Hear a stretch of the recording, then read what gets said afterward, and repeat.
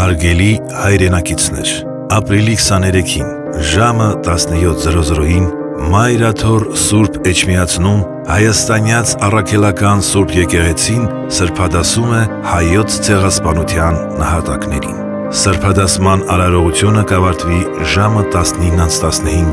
որը խորհրդանշում է 1915 թվականը։ Հայտարարվելու է լռության րոպե, աշխարհասփյուր հայկական եկեղեցիների կուշկանի 100 զանգի ներքո։ Ոգեկոչման այս միջոցառմանը կմիանան նաև քույր եկեղեցիներ աշխարի բազմաթիվ երկրներում։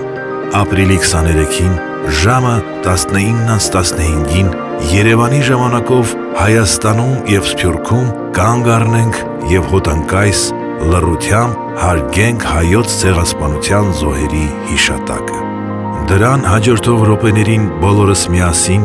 երկրորդելով Մայր Աթոռում հնչեցվող աղոթքին միասին բարձրաձայն արտասանենք Հայր մեր տերունական աղոթքը